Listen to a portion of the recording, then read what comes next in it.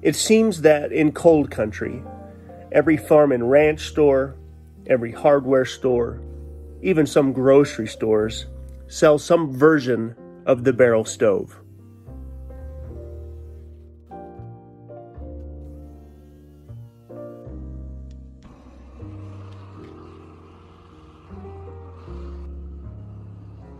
I built our very first barrel stove almost four years ago to the day.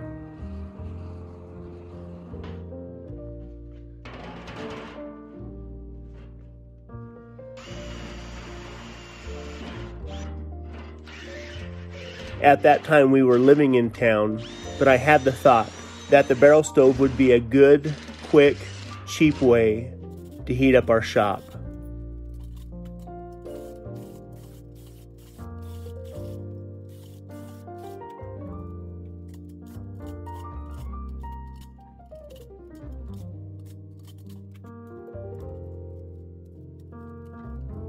The close cousin to the barrel stove is the double barrel stove.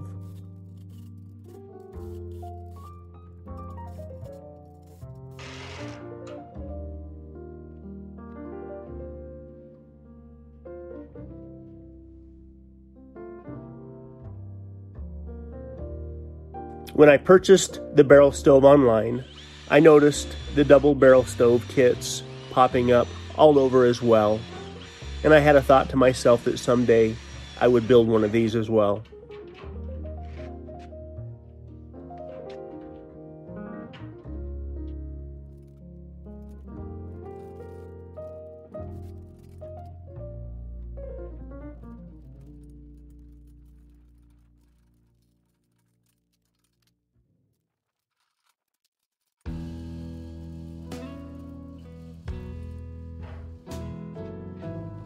When I built our first barrel stove, we'd only been living in Idaho about a year.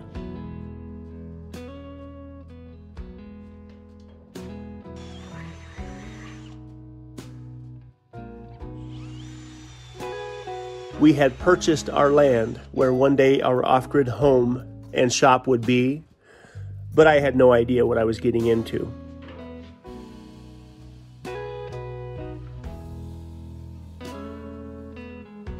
A month before I built that first barrel stove, I had just finished the concrete foundation, which is now the shop foundation. And shortly after that, it snowed so much that I would not get back up to our land for about three months.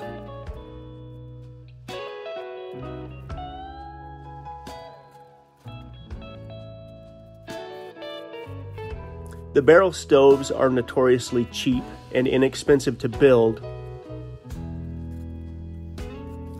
They're not exactly airtight.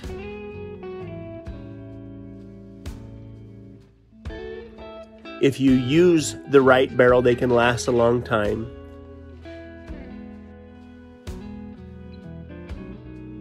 If you don't, they can last a couple of years.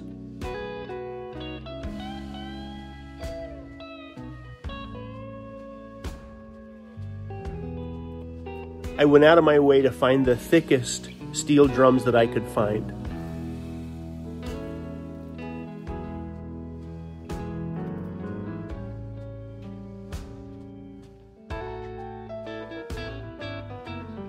The second barrel on the double barrel stove is designed to retain a little bit more heat before the smoke makes its way up the chimney.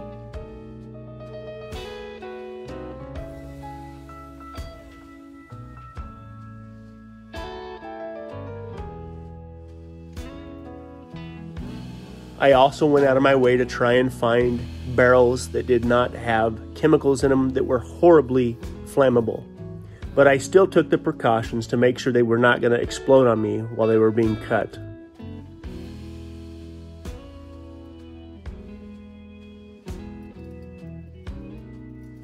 One of these steel drums had a glue in it, one of them had glycol in it,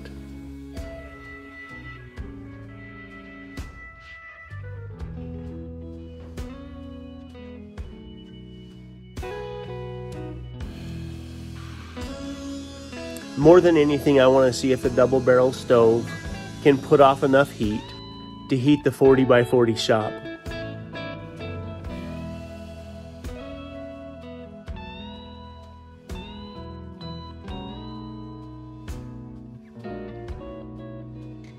I will have less than $100 tied up in the complete barrel stove kit. So before I went out and bought some big expensive wood burning stove for the shop, I wanted to give this a try first.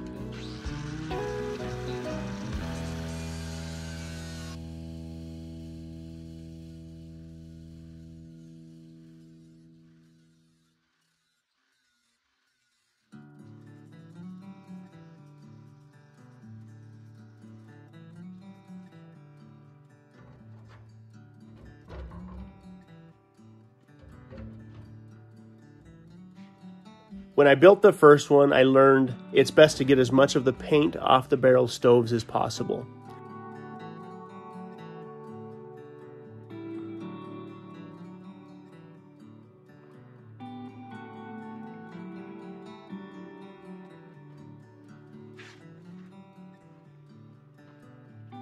The paint will slowly burn off as the stove is being used, and that smell is not the greatest. So just like the first barrel stove I built, I will take the weed burner to the double barrel stoves and get as much paint off as I can before I put them into use.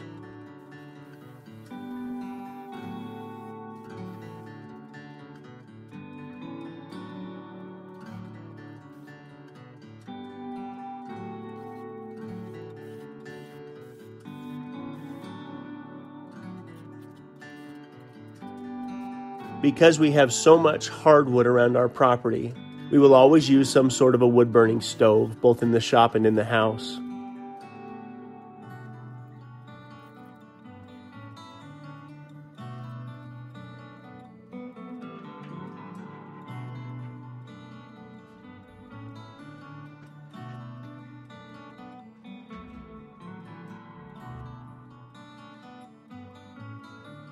With my plumbing background, I very easily could have put radiant floor heating in the shop, and I never would have had to worry about how I'm going to heat the shop from that point on. But a radiant floor system requires power, and because we're off grid, I've made an effort to keep the electrical to a minimum, even out here in the shop. Plus, I enjoy the idea of burning wood.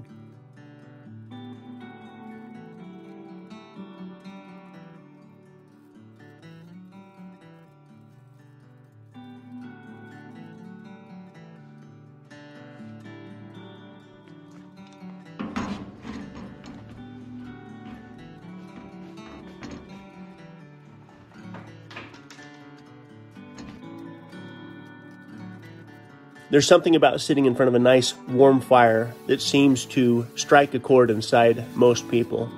And I look forward to doing that out here in the shop, even on the coldest days of the year.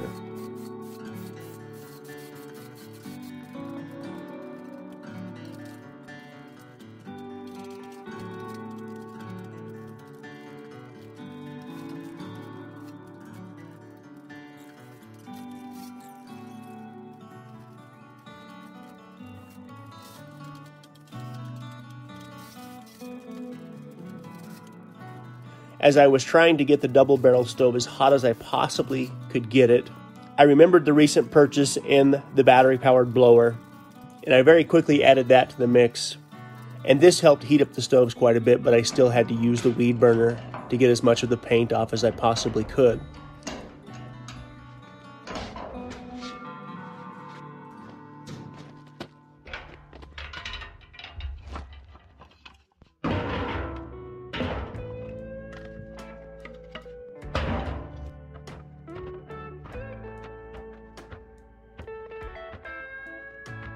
I bought four cans of high temp black paint to use on the barrel stoves, but even the high temp black paint doesn't last that long. And as I worked on the barrel stove, I liked the way that it looked.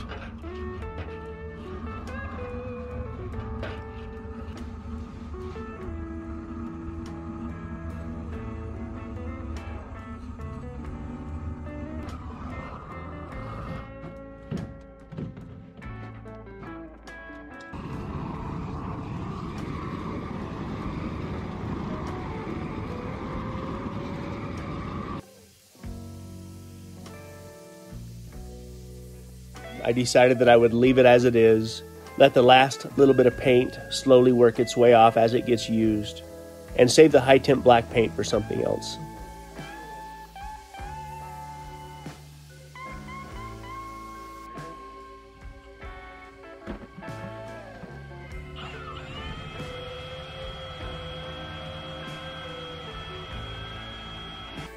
Now that it's been four years since I built my very first barrel stove, we have a little bit of perspective on living off grid in the mountains of Idaho.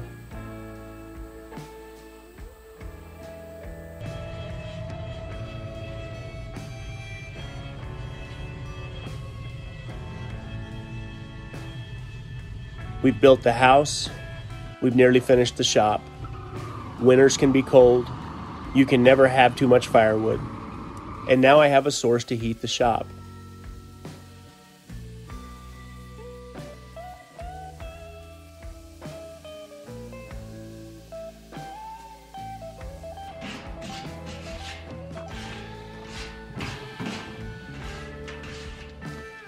I relocated the damper from the very top of the barrel stove to about 18 inches above the barrel stove in the chimney pipe, and this seems to make a difference.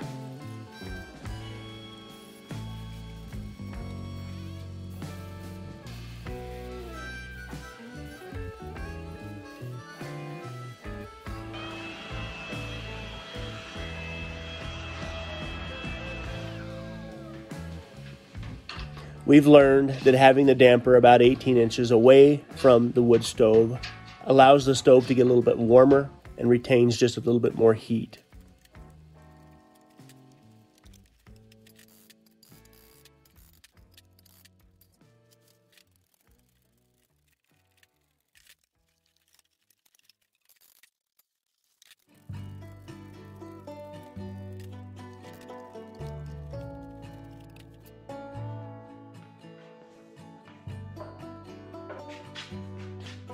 From the top of the barrel stove, the smoke has over 16 feet of pipe that it has to travel through before making its way to the outside.